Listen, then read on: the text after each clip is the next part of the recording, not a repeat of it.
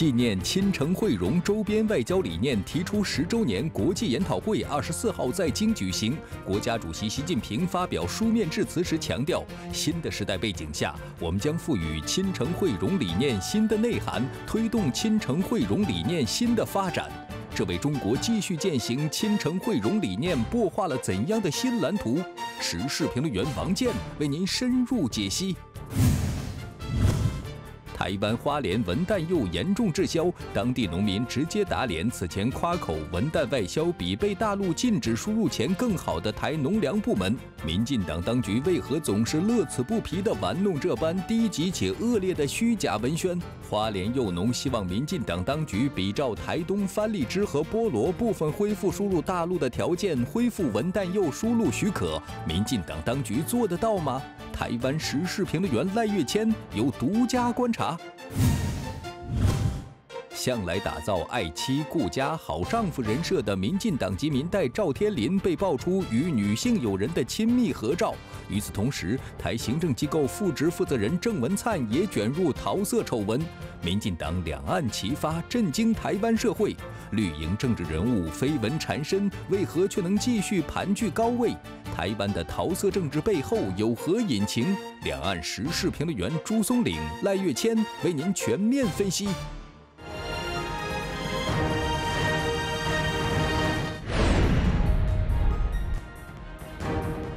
峡新干线，两岸看世界，欢迎收看东南卫视《海峡新干线》。大家好，我是施源。首先来关注，纪念亲诚惠容周边外交理念提出十周年国际研讨会，二十四号在北京举行。会议主题为“亲诚惠容新内涵、新发展、新愿景”，由中央外办、外交部联名举办，中国国际问题研究院承办。周边多国政要、部分国际和地区组织负责人、驻华使节、专家学者等两百余人与会。国家主席习近平向研讨会发表书面致辞。中共中央政治局委员、中央外事工作委员会办公室主任、外交部长王毅出席研讨会开幕式，首先宣读了习近平主席的书面致辞。习近平指出，中国周边外交的基本方针就是坚持与邻为善、以邻为伴。坚持睦邻、安邻、富邻，突出体现亲诚惠容的理念。十年来，中国积极践行亲诚惠容理念，全面发展同周边国家的友好合作关系，双方政治互信不断增强，利益融合持续深化，走出了一条睦邻友好、合作共赢的光明大道。习近平强调，新的时代背景下，我们将赋予亲诚惠容理念新的内涵。弘扬以和平、合作、包容、融合为核心的亚洲价值观，为地区团结、开放和进步提供新的助力。我们将推动亲诚惠容理念新的发展，让中国式现代化更多惠及周边，共同推进亚洲现代化进程，使中国高质量发展与良好周边环境相互促进、相得益彰。中国将继续践行亲诚惠容理念，同地区国家携手构建和平、安宁、繁荣、美丽、友好共生的亚洲家园，共同谱写推动构建亚洲命运共同体和人类命运共同体的新篇章。王毅表示，中方将始终秉持亲诚惠容理念，坚持与邻为善、以邻为伴和睦邻、安邻、富邻方针。深化同周边国家友好合作和利益融合，建设好我们的共同家园。为此提出四点建议：一是坚持共商共建共享，打造“一带一路”示范区；二是坚持共谋发展，打造全球发展倡议先行区；三是坚持和中共济，打造全球安全倡议实验区；四是坚持亚洲价值，打造全球文明倡议首善区。研讨会发布了新时代中国的周边外交政策展望文件，这是中方首次以发布文件的形式全面阐述中国周边外交政策。文件回顾了十年来亲诚惠容理念指引下，中国同周边国家关系发展取得的丰硕成果，分析了中国同周边国家关系的未来，既体现了中国周边外交政策的延续性和稳定性，同时也展现了亲诚惠容理念的新内涵、新发展、新愿景。相关话题，我们来请教在北京演播室的时事评论员王健先生。王先生您好，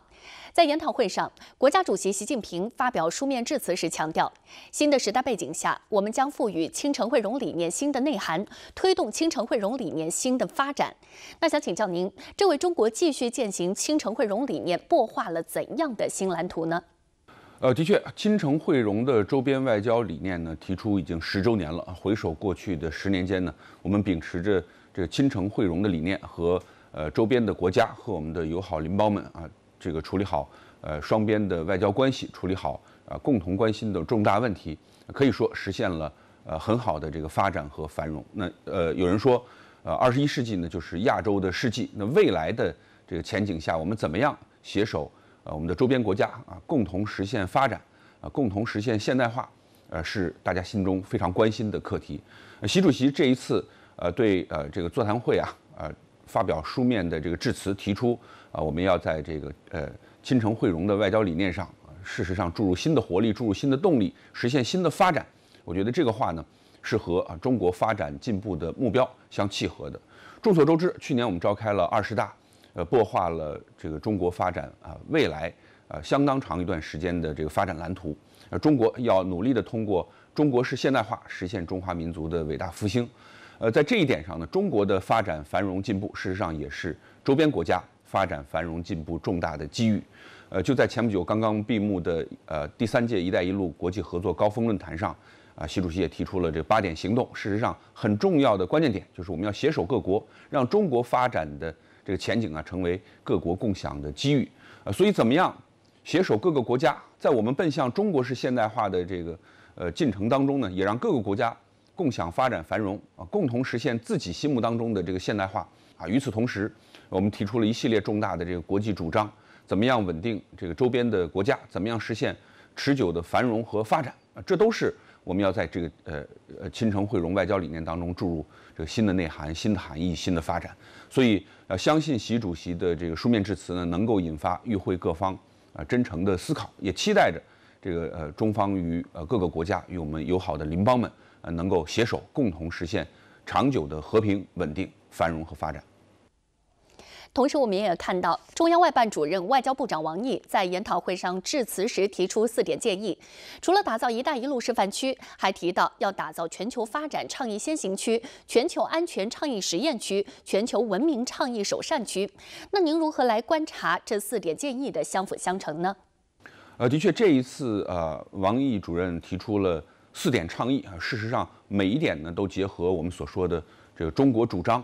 呃，中国思考啊，为呃，周边国家携手呃发展啊，提出了解决的答案。那第一点呢，和“一带一路”相关。我们都知道，在第三届“一带一路”国际合作高峰论坛上，我们提出要啊携手共同推进“一带一路”的这个高质量发展。那事实上，呃，“一带一路”就是始于周边国家。我们呃历史上这个无论是丝绸之路还是海上的这个丝绸之路，事实上，呃，都是从周边国家开始友好交往发展起来的。那当然，在推进这个“一带一路”高质量发展的进程当中，我们能否和周边国家努力的实现共建，实现这个呃真正目标当中的高质量发展呢，这是很重要的。那后面三点倡议和主张啊，分别围绕全球发展倡议、全球安全倡议和全球文明倡议展开。我们都知道，呃，这三大倡议并称为啊中国的这个呃全球三大倡议。呃，针对不同的领域，我们提出了中国啊针对这个世界发展当中一些矛盾焦点难题的中国答案。呃，怎么样让我们的这个理念能够落地生根？也要从周边国家开始。呃，无论是这个发展层面的这个呃一花独放不是春啊，这个百花齐放春满园，能够实现我们和周边国家携手共同发展，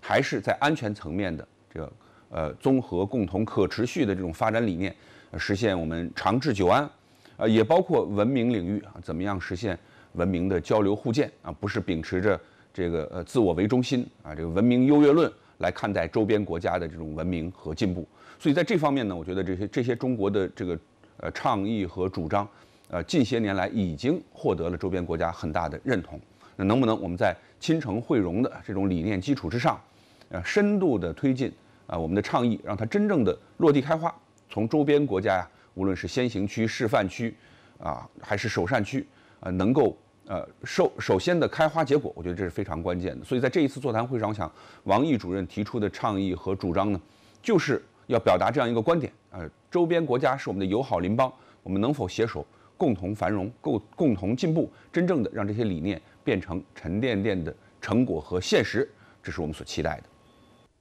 是的，一荣俱荣，我们是命运共同体，大家好才是真的好。而研讨会还发布了新时代中国的周边外交政策展望文件，其中特别提到，中国将坚定不移地推进祖国统一大业，指出维护一个中国原则的态度越鲜明，遏制分裂势力的措施越有力，台海和平稳定就越有可能，地区和平繁荣就越有保障。那么，将这一点放入中国的周边外交政策，传达了怎样的信息呢？那我们都知道，呃，台湾问题呢是中国呃主权内的问题啊。在这个问题上，我们不需要这个和其他国家进行相应的这个磋商啊，这是我们自己要解决的问题。祖国的和平统一呢，啊，也是我们必须实现的目标。那为什么我们在跟周边国家在讲亲诚惠容的过程当中，我们对未来的展望要写入这个呃台湾问题这样一条呢？我觉得很重要的一点就是我们看到了在跟周边呃国家处理关系的这个过程当中啊，由于域外国家的插手，台湾问题啊成为拦在中间很关键的一个环节。啊，一些国家呢，在台湾问题上，事实上头脑并不清醒，判断啊也不清晰，所以受域外国家的蛊惑呢，对啊台湾问题时有发表错误的这个言论，这严重伤害了这个中国人民的感情，同时也影响了啊我们呃与周边国家友好的这个呃呃相处理关系，呃影响了我们和周边国家携手共同发展，所以我们把台湾问题写入啊呃与周边国家关系这样一个。展望就是要明晰地告诉周边国家，这台湾问题啊是我们自己的问题，呃，我们有信心、有能力解决好呃我们主权上的这个关键的问题，真正的实现呃中华民族的这个统一。呃，与此同时呢，也让各个国家明白，在台湾问题上呢，呃，确实要坚持这联合国呃决议所做出的这个决定，啊，真正的在处理好台湾问题的基础上，和中国哈秉持着亲诚惠容的理念，推动共同的发展。谢谢王健先生。本节目由金门酒厂金门高粱酒冠名播出。我们继续来看新闻。近日，美国国防部发布《二零二三年中国军事与安全发展报告》。这份报告罔顾事实、胡编乱造，运用似是而非的话术，歪曲解读中国国防政策和军事战略，渲染炒作并不存在的所谓中国军事威胁，妄加臆测中方在核、太空、网络等领域军力发展，在台湾问题上指手画脚干涉中国内政。对此，我国防部表示强烈不满和坚决反对，已向美方提出严正交涉。国防部新闻发言人吴谦表示，中方坚持走和平发展道路，奉行防御性国防政策，从不以大欺小、恃强凌弱。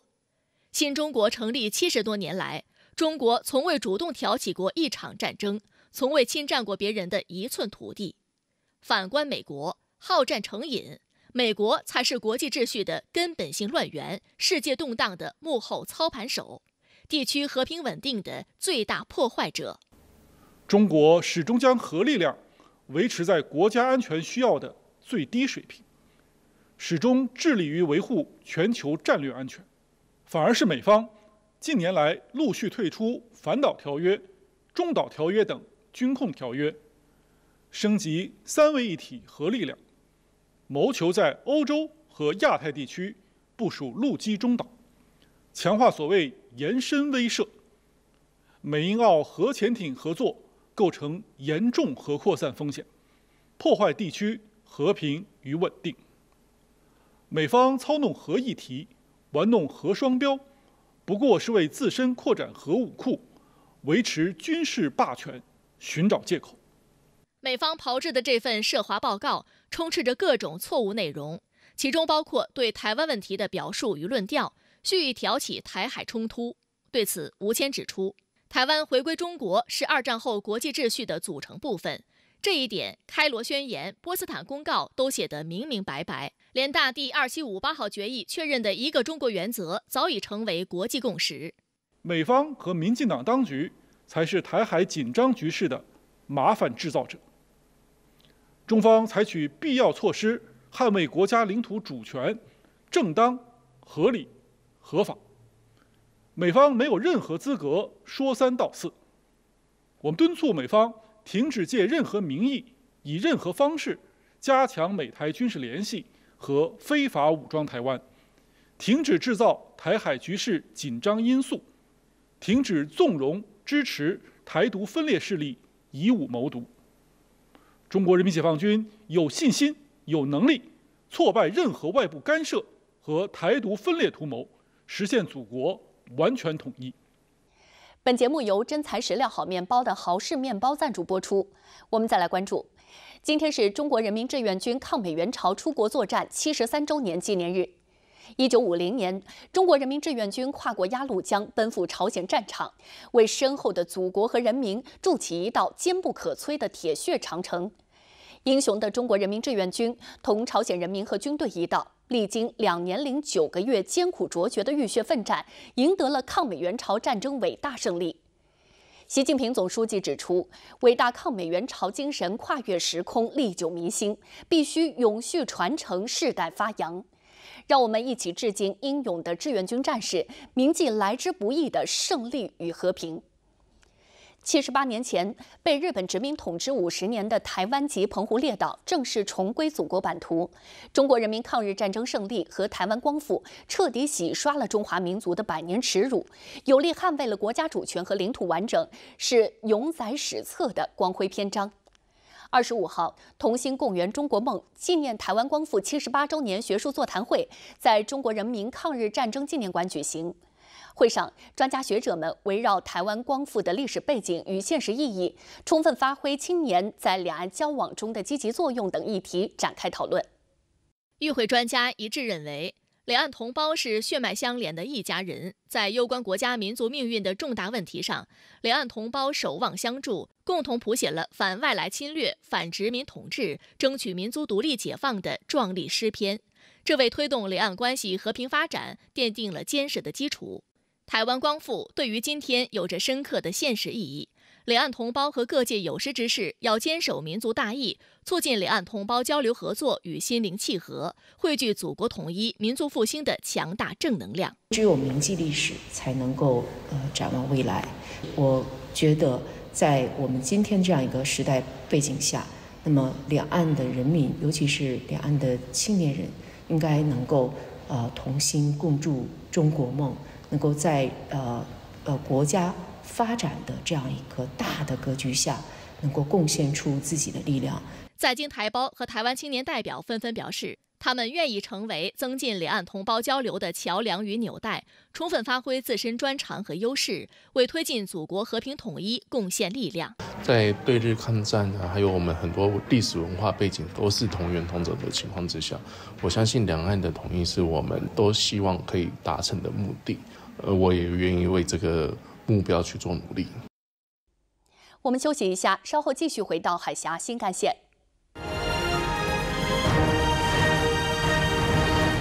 热烈、喜悦、畅快，人生百态都在酒里。金门高粱，两岸飘香。一到晚上就没精神。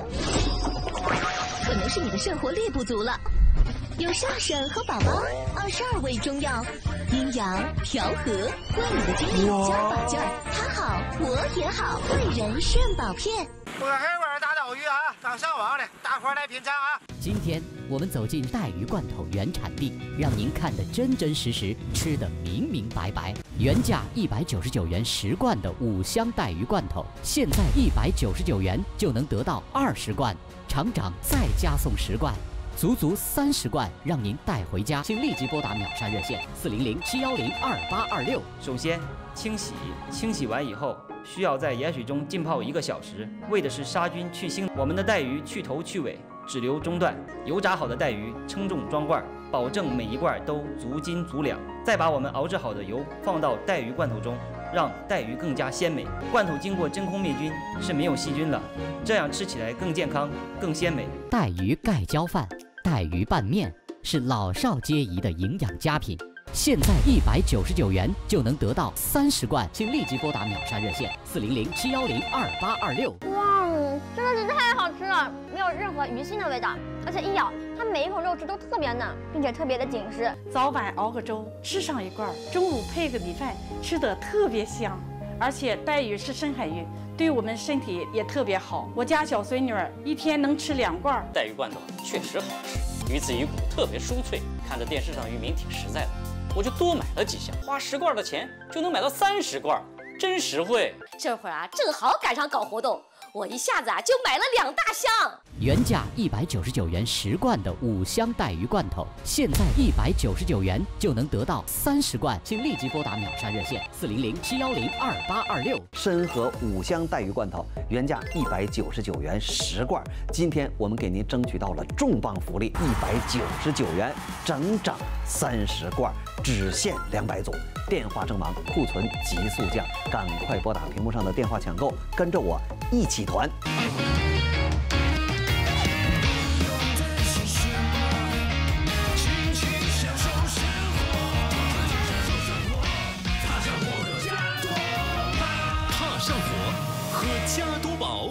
一件脏衣服污染全家人，衣服会洗会交叉污染，污渍钻入纤维底层。新太子升级洗衣液，首创微粒净科技，深入纤维底层，清除交叉污染中的纳米污渍。新太子一镜到底，超越所见。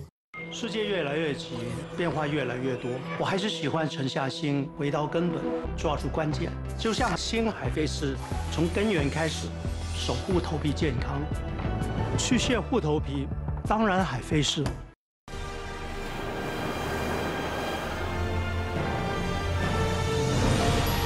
正在收看的是东南卫视。每天喝茶不怕牙黄吗？没事，我有佳洁士，锁白色素隔离盾，高效去渍，长效防渍，长效美白，持久清新，佳洁士。妈妈，我有。成品让人感觉身体不舒服，可能是细菌螨虫的影响。新碧浪抗菌除螨洗衣液，深乳纤维，根源洁净，强力去除螨虫和细菌。还有三江凝珠新上市，碧浪根源洁净，抗菌除螨。肝胆湿热所致，急痛、口苦、尿黄，用片仔癀鹰胆平肝胶囊。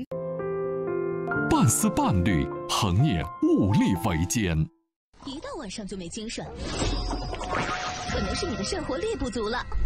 有上肾和宝宝，二十二味中药，阴阳调和，为你的精力加把劲儿。他好，我也好，贵人肾宝片。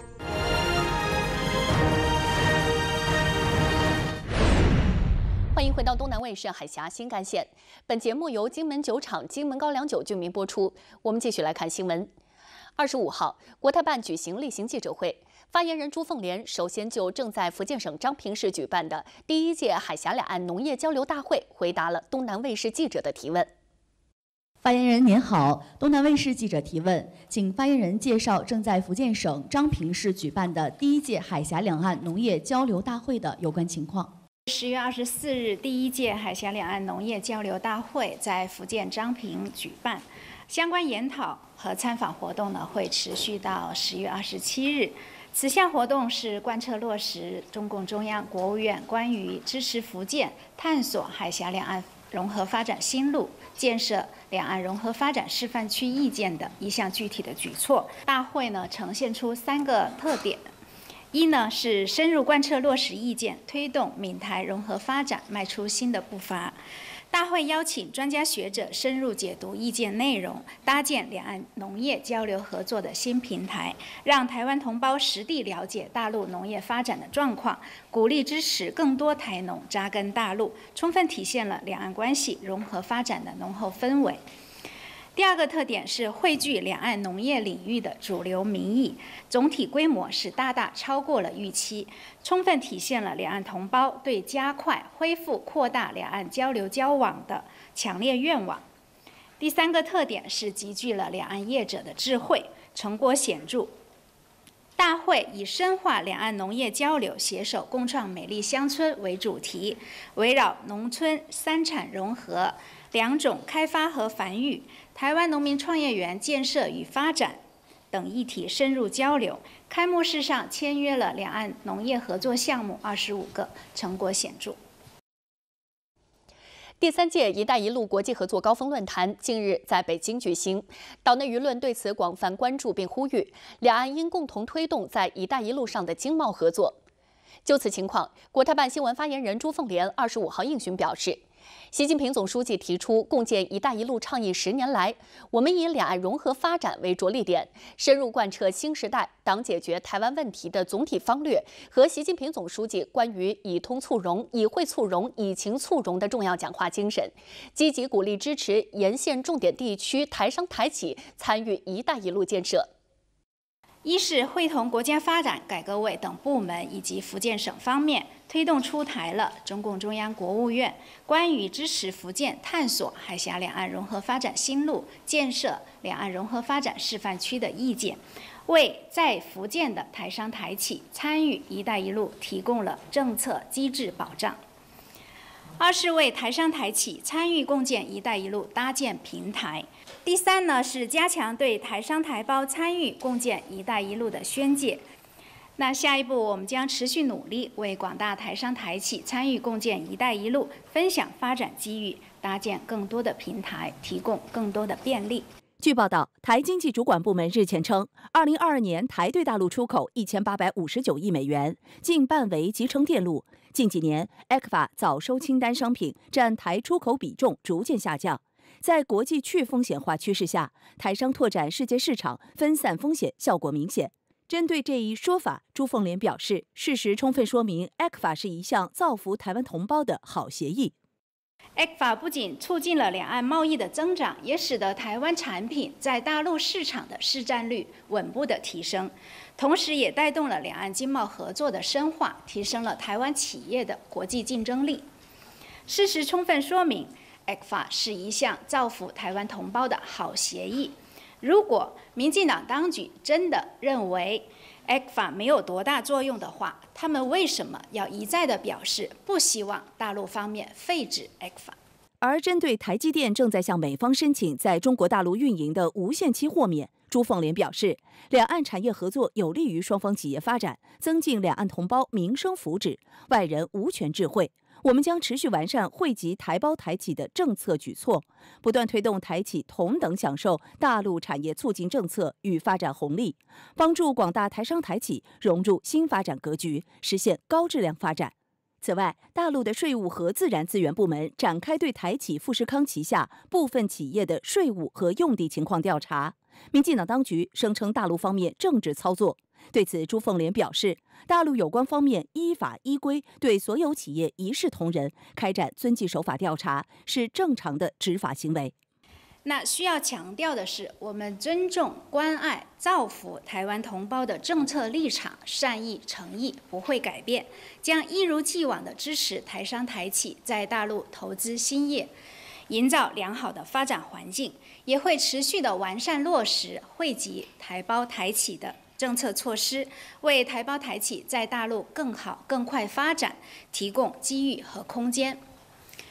同时，台企在大陆分享发展红、分享增长红利、获得长足发展的同时，也应当承担相应的社会责任，为推动两岸关系和平发展发挥积极的作用。所谓美国在台协会主席罗森伯格日前窜台，并声称美方反对单方面改变现状，包括不支持台湾独立，呼吁两岸展开对话。对此，国台办发言人朱凤莲在今天的记者会上回应表示：“世界上只有一个中国，台湾是中国的一部分，是国际社会的普遍共识。不支持台独是美方做出的严肃的政治承诺。台独与台海和平水火不容，台独工作者就是。”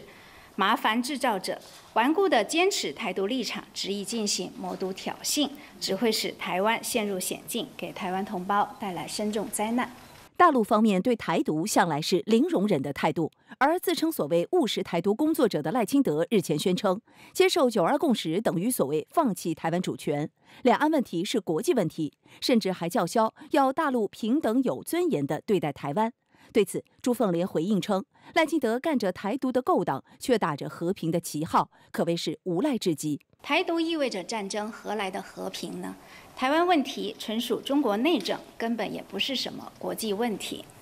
九二共识是两岸对话协商的共同政治基础。赖清德一边企图以武谋独、以外谋独，一边奢谈两岸对话合作，完全是招摇撞骗。正如岛内媒体人所指出的，赖清德现在正从台独疯子变身为台独骗子。这个评论是一针见血，恰如其分。相信广大的台湾同胞对此有清醒的认识。再来关注，据台湾媒体报道。台湾花莲文旦柚滞销严重，全县约有五千吨文旦柚被堆积丢弃，果农直呼血本无归。花莲县代表希望民进党当局有所作为，让文旦柚能比照台东番荔枝恢复输往大陆。二十四号上午，所谓时代力量民代陈娇华召开记者会，指出花莲文旦柚产销危机年年上演，今年更加严重。目前全县滞销的果量约有五千吨。盘商收购价跌落至一斤不到一元新台币。一名花莲柚农通过视频连线的方式参与记者会控诉，文旦柚连年滞销却无人关心。台农业部门一再要求柚农加入产销履历，并向农民承诺可以卖得更好。现在农民该做的都做了，文旦柚还是卖不出去。既然你农粮署要鼓励我们做生产履历，我们都做了，你农粮署要辅导我们。要怎么卖出去啊？那最主要就是没有外销了，希望政府能够多找通路，能够外销。台农业部门代表现场表示，民进的当局推动的外销方案，主要是将文旦柚出口到中国香港、日本、加拿大、新加坡等地，并提供拓销奖励。但文旦柚最大的外销市场是中国大陆，目前没有其他市场可以取代。但两个月前，台农粮部门官员明明才说过，文旦柚外销及加工有很大的突破，称台湾文旦柚被大陆近一年反而卖得更好。但事实却是，花莲文旦柚已经严重滞销。花莲县代表表示，希望民进党当局有所作为，能够比照台东番荔枝恢复输往大陆的模式，为幼农打开通路。此前，经台东县方面组织业者整改，海关总署在综合评估相关整改措施的基础上，决定自二零二三年六月二十号起恢复台湾地区番荔枝输入。很快的得到回应，我们非常的开心。我们希望是在一个高品质的呃管控之下，能够把我们的凤梨世家果品销往中国大陆。就恢复台湾番荔枝输入大陆一事，国台办发言人朱凤莲二十五号指出。主管部门在综合评估基础上宣布恢复台湾地区番荔枝输入大陆，尽量使相关业者在经过整改后达到大陆有关部门的标准要求，使得大陆民众能够品尝到来自台湾地区的高品质水果，为台湾基层民众带来实惠，产生积极反响。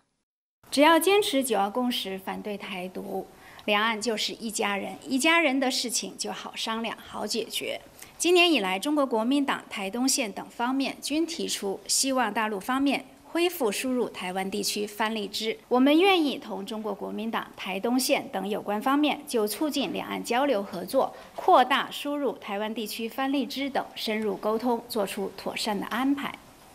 接下来，我们来请教在台北的时事评论员赖月谦先生。赖先生您好。花莲文旦柚滞销严重，当地农民直接打脸。此前夸口文旦外销比被大陆禁止输入前更好的台农粮部门，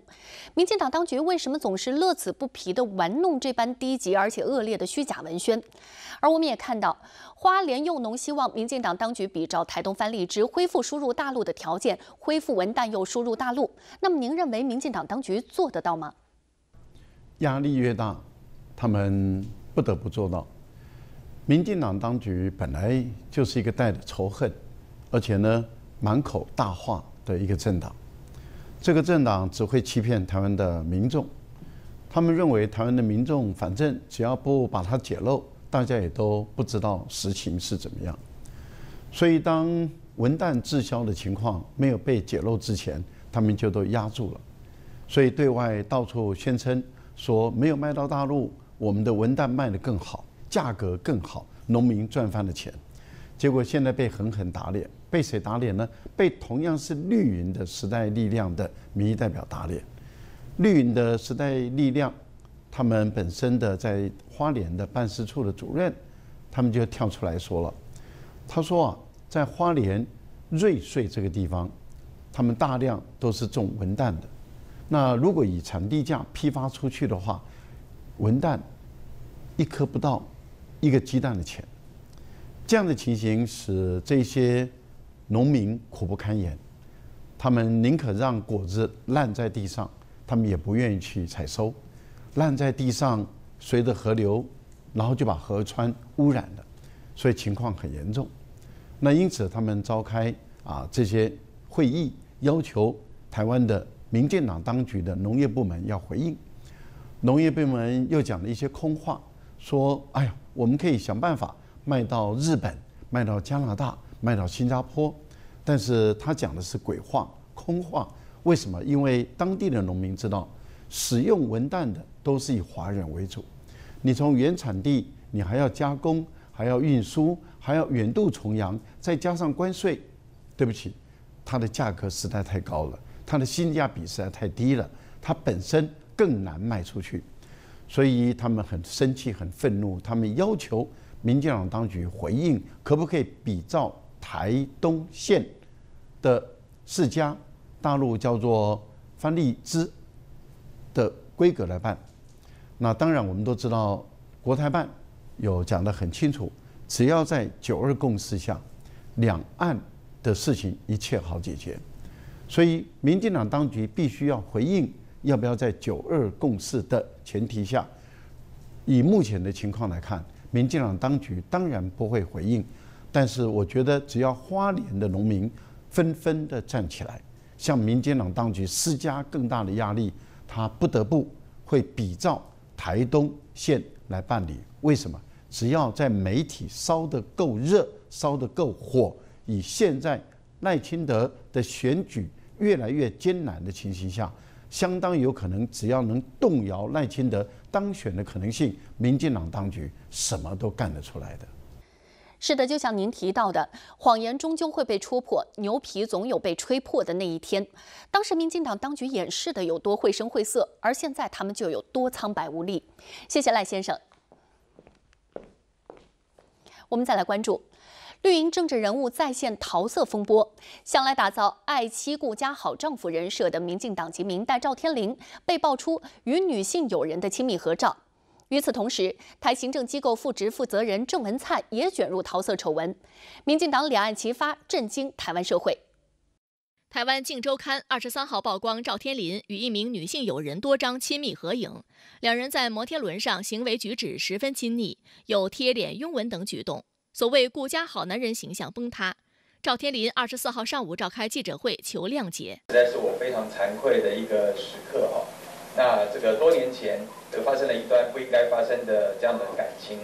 那造成了我的太太啊非常的难过，那也受伤。那说实在的，我相当的自责。赵天林坦诚多年前犯下错误，并强调当时已获得妻子原谅。当时也获得了他的原谅。现在媒体报道的这些内容，其实他当时就知之甚详了。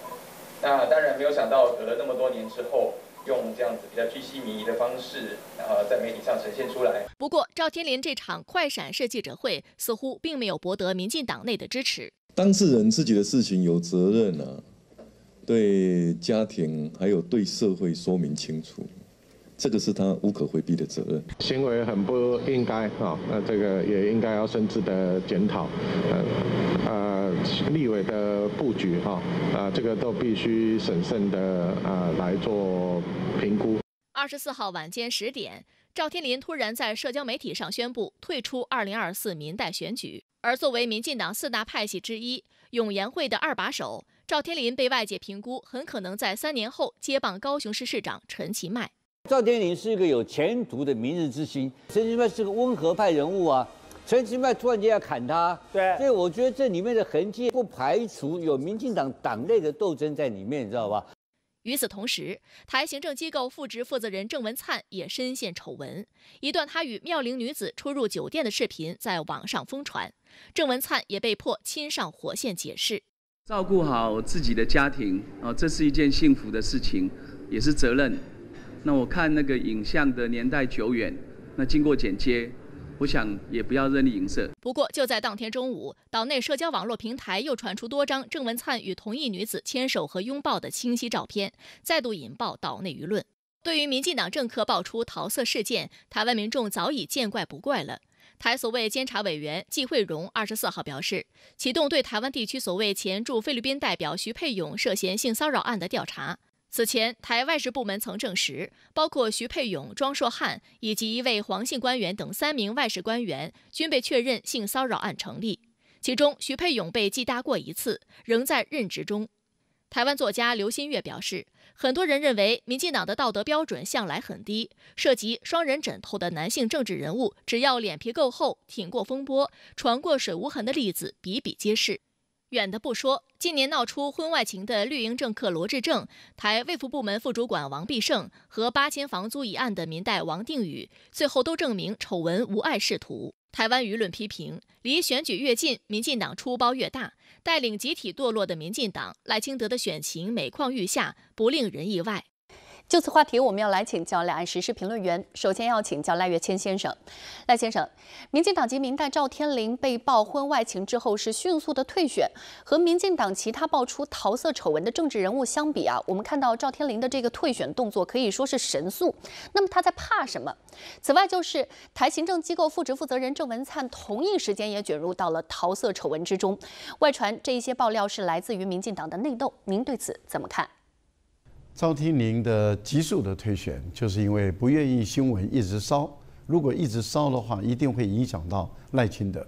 赖清德一旦不能当选，民进党就变成一个在野的政党，什么都没有了。如果赖清德当选了，搞不好还会分一杯羹给赵天麟。所以赵天麟本来他要把他的太太的牌打出来，说他太太知道了，也原谅他了。那这意思也就是说，你们不要再追究了，连我的太太都原谅我了，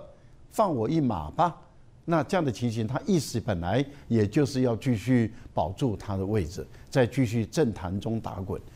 但是眼看着台湾的舆论烧得风风火火，很快的赵天麟就宣布不选了。那当然大家都知道，那当然就是民进党的党主席赖清德。相当有可能就出手了，也就是要赶快止血，因为这个案子如果一直烧、一直烧、一直烧，烧的没完没了，没有人会管赖清德，大家只管民进党是继一个又贪又黑、本身又色，再加上寡廉无耻的政党。这样的情形下的话，赖清德的民调支持度当然会越来越低。所以我们看得很清楚，民进党当局他们当然就紧张。不过，很遗憾的地方是在于，当赵天麟的案子爆出来，当郑文灿的案子爆出来，其实对我们来说一点都不意外，因为民进党的政治人物本来私生活很多人就很不检点，这个是大家有目共睹，也都有所耳闻的。不过这一次会爆出来，我觉得跟新潮流系确实是有点关系。新潮流系在民进党当局，呃，民进党内部。本身他们叫做整晚都捧过去，然后吃相很难看，所以我们一般高度怀疑这些影片、这些新闻流出来，相当有可能就是一些反新潮流系的这一些民进党内部的人所泄露出来的。因为能够拿到这么私密的资料，能够调到酒店里面的录影带，开玩笑。不是等闲人呐，所以既然不是等闲人，我们合理的怀疑就是民进党内部的激烈的恶斗。谢谢您的解读，我们休息一下，稍后我们再来请教在北京演播室的时事评论员朱松岭先生。我偶尔打岛鱼啊，刚上网的，大伙来品尝啊！今天我们走进带鱼罐头原产地，让您看得真真实实，吃得明明白白。原价一百九十九元十罐的五香带鱼罐头，现在一百九十九元就能得到二十罐，厂长再加送十罐，足足三十罐，让您带回家。请立即拨打秒杀热线四零零七幺零二八二六。首先清洗，清洗完以后。需要在盐水中浸泡一个小时，为的是杀菌去腥。我们的带鱼去头去尾，只留中段。油炸好的带鱼称重装罐，保证每一罐都足斤足两。再把我们熬制好的油放到带鱼罐头中，让带鱼更加鲜美。罐头经过真空灭菌，是没有细菌了，这样吃起来更健康、更鲜美。带鱼盖浇饭、带鱼拌面是老少皆宜的营养佳品。现在一百九十九元就能得到三十罐，请立即拨打秒杀热线四零零七幺零二八二六。哇，真的是太好吃了，没有任何鱼腥的味道，而且一咬，它每一口肉质都特别嫩，并且特别的紧实。早晚熬个粥，吃上一罐，中午配个米饭，吃的特别香。而且带鱼是深海鱼，对我们身体也特别好。我家小孙女儿一天能吃两罐带鱼罐头，确实好吃，鱼子鱼骨特别酥脆。看着电视上渔民挺实在的，我就多买了几箱，花十罐的钱就能买到三十罐，真实惠。这会儿啊，正好赶上搞活动。我一下子啊就买了两大箱，原价一百九十九元十罐的五香带鱼罐头，现在一百九十九元就能得到三十罐，请立即拨打秒杀热线四零零七幺零二八二六。参和五香带鱼罐头原价一百九十九元十罐，今天我们给您争取到了重磅福利，一百九十九元整整三十罐，只限两百组。电话正忙，库存急速降，赶快拨打屏幕上的电话抢购，跟着我一起团。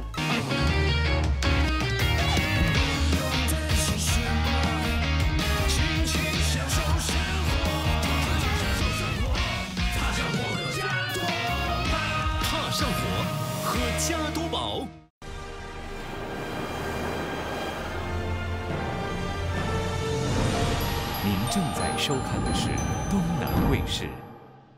一到晚上就没精神，可能是你的肾活力不足了。有上神和宝宝二十二味中药，阴阳调和，为你的精力加把劲儿。他好，我也好，贵人肾宝片。厉行节约，反对浪费。一到晚上就没精神，可能是你的肾活力不足了。有上肾和宝宝二十二味中药，阴阳调和，为你的精力加把劲儿。他好，我也好，贵人肾宝片。欢迎回到东南卫视海峡新干线。就绿营政客在线桃色风波的话题，我们要来请教北京演播室的时事评论员朱松岭先生。朱先生，除了赵天麟和郑文灿的外遇风波，民进党官员爆出的桃色丑闻可以说是层出不穷。那想请教您，这个背后有怎样深层次的问题呢？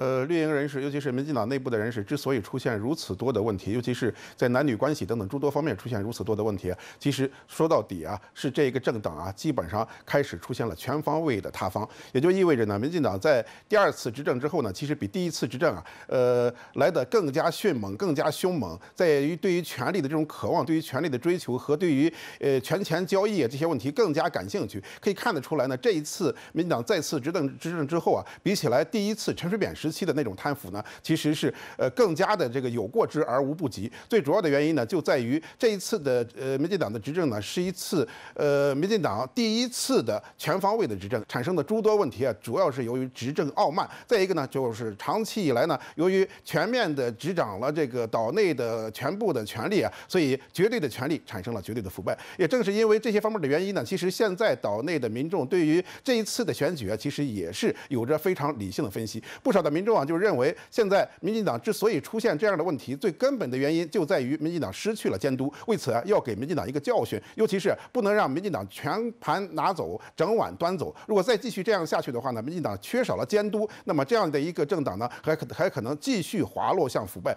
呃，那么这样一种做法呢，会对于台湾岛内民众的这种利益的伤害呢，更加的严重。所以说这一次啊，恐怕民众会用手中的这个选票来教训民进党。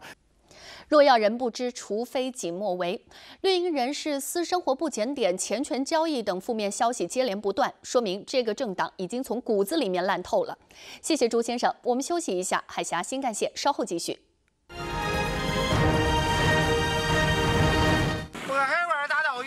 上网的，大伙来品尝啊！今天我们走进带鱼罐头原产地，让您看得真真实实，吃得明明白白。原价一百九十九元十罐的五香带鱼罐头，现在一百九十九元就能得到二十罐，厂长再加送十罐，足足三十罐，让您带回家。请立即拨打秒杀热线四零零七幺零二八二六。首先，清洗，清洗完以后需要在盐水中浸泡一个小时，为的是杀菌去腥。我们的带鱼去头去尾。只留中段，油炸好的带鱼称重装罐，保证每一罐都足斤足两。再把我们熬制好的油放到带鱼罐头中，让带鱼更加鲜美。罐头经过真空灭菌是没有细菌了，这样吃起来更健康、更鲜美。带鱼盖浇饭、带鱼拌面是老少皆宜的营养佳品。现在一百九十九元就能得到三十罐，请立即拨打秒杀热线四零零七幺零二八二六。哇，真的是太好吃了，